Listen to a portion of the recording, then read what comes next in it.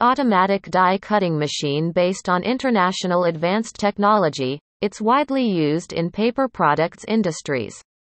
It adopts microcomputer, human-computer control interface, servo positioning, alternating current frequency converter, automatic counting, manual pneumatic lock plate, photoelectric correcting deviation system, electromagnetic cloth, centralized oil lubrication, overload protection and distinctive gearing. Machine can realize in steady pressure, precise positioning, smooth moving, safety and reliability.